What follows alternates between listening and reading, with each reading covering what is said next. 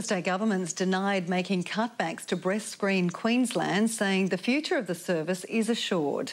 Concern quickly spread after a weekend newspaper article the Premier says was incorrect.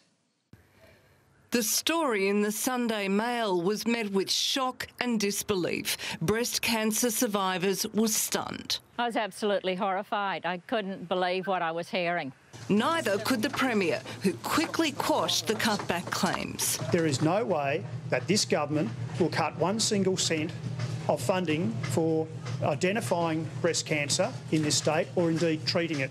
Queensland's Chief Health Officer says there'll be no reductions in the number of or budgets of Queensland's breast screen clinics.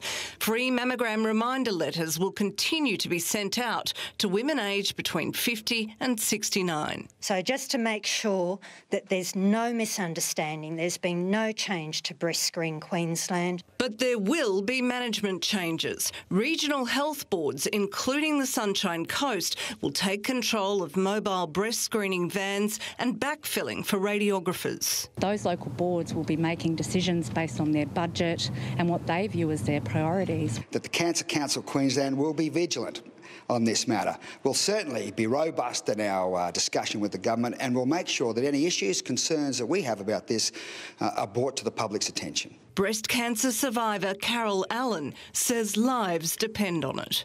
If they hadn't sent me out the regular mammogram checkups, I doubt if I'd be speaking to you today. They've definitely saved my life. Jennifer Nichols, 7 News.